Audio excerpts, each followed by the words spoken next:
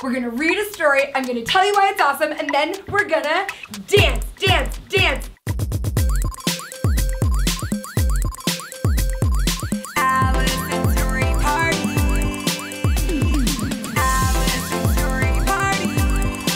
Welcome to Alison's Story Party, where we read stories and learn how to feel awesome. And I am so excited for the story we're gonna read today because I cannot read this book to my kids without crying. And you're gonna be confused because this book is called Thelma the Unicorn. It just, sometimes it hits a little too close to home. So let's get ready to read this story. This book is Thelma the Unicorn by Aaron Blabey. Ooh, Blabey, Blabey. I don't know, Aaron. That's that's how I think we say your name. Ooh, and look at this pink. It looks like my friend Frank, the flamingo. He's my good friend. Thelma felt a little sad.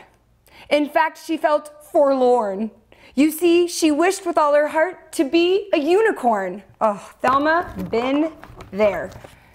Her best friend's name was Otis. He liked her quite a lot. He said, You're perfect as you are. But Thelma said, I'm not. Oh, look at Thelma looking at that big horse.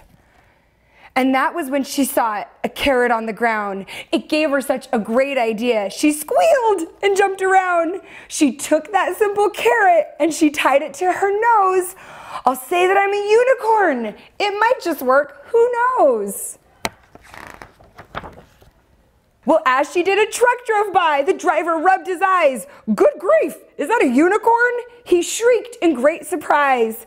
As Thelma watched the swerving truck, it very nearly hit her. Would you believe that that truck was filled with nice pink paint and glitter?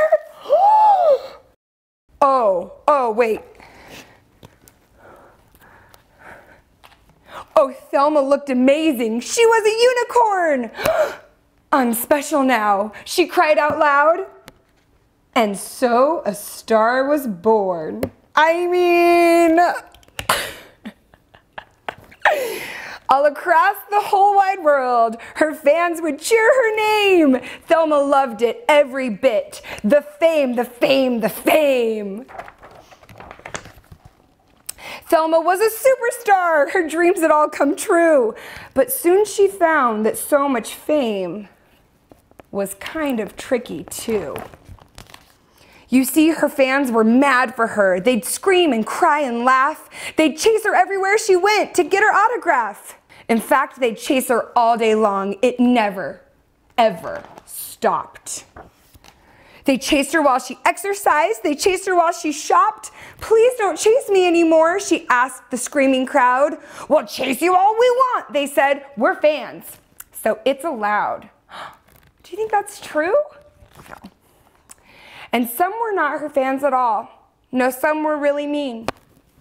And some just did the meanest things she'd really ever seen.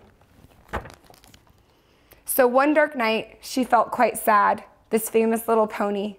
She said, I thought that I'd feel great, but all I feel is lonely. And so with that, she changed her mind, this lonely unicorn. She cleaned off all her sparkles and she ditched her magic horn. And then she walked right past the crowd. They didn't even notice. She thought how nice that it would be to see her lovely Otis.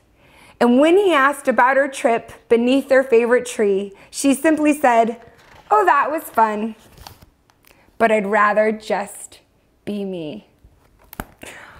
What did Thelma learn?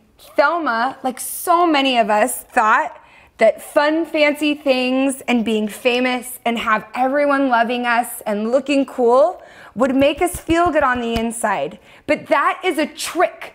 It's a lie. Everything that comes from the outside doesn't make you feel good on the inside. How do you feel good on the inside?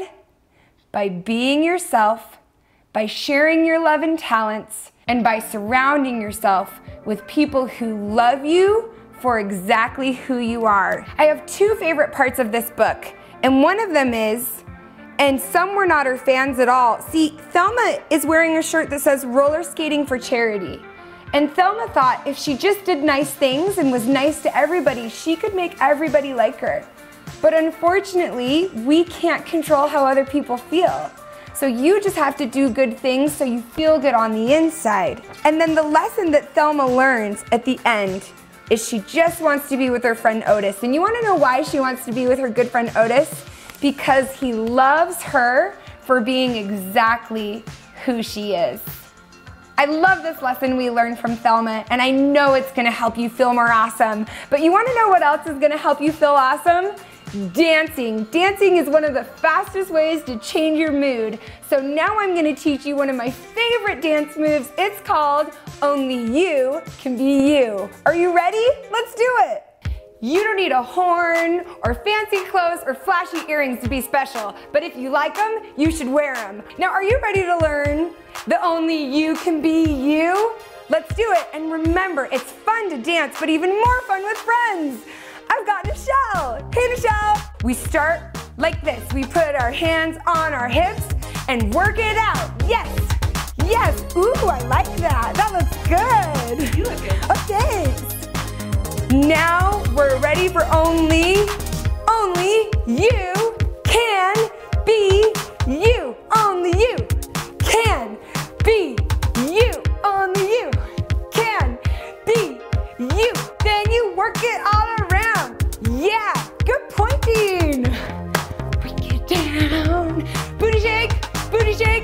Yes.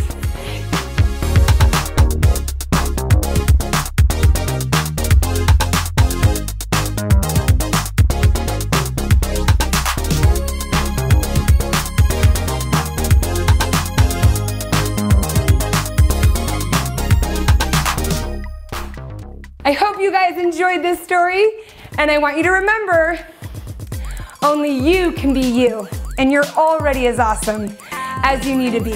I love you.